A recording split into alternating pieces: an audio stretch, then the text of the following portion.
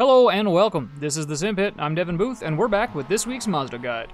We're at the newer scan for Lime Rock Park this week, so the surface is smooth, but there's chicanery afoot. So let's get started by first taking a look at some of the potential problem spots, and then we'll get rolling with the full track guide.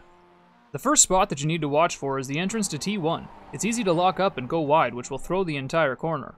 Watch how deep you brake here, and if you're planning to pass on the inside, be aware that it takes only a small error to go wide here, which would end your race, and that of your competitors.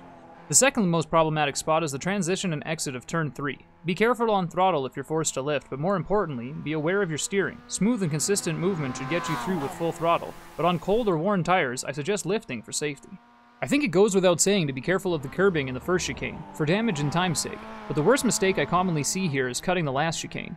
Even in my lap, you'll see I get the off track. That said, a slowdown here will wreck your day. If you do get one, get it counting down on the front straight there, then serve the remainder on turn one's entrance. Do not just brake after the chicane. You will probably cause an accident. With that out of the way, let's hop in the car and learn us some Lime Rock. Alright, staying left and braking for the 2 sign, turn 1, down to 4th, then 3rd for the apex, let the car go wide, then 2nd apex, on the gas, still in 3rd. Back to the right, then braking in, using throttle and brake to maintain balance with a late apex. Turning in at the bend on the left, no lift and exit, being careful with the steering and going right, then left to set up for the chicane. Braking at the kink in the white line, second gear turn in, watch the curbs, and try to straight line through and out. No need for curbs on the top of the hill.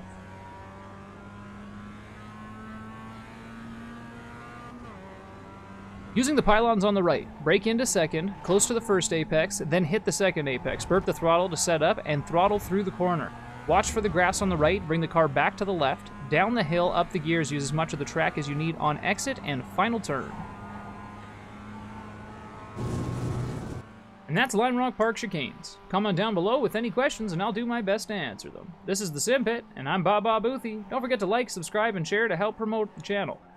I'll leave you with a few chase laps so you can see my problem areas, and also to solidify your own line. We'll see you again next week.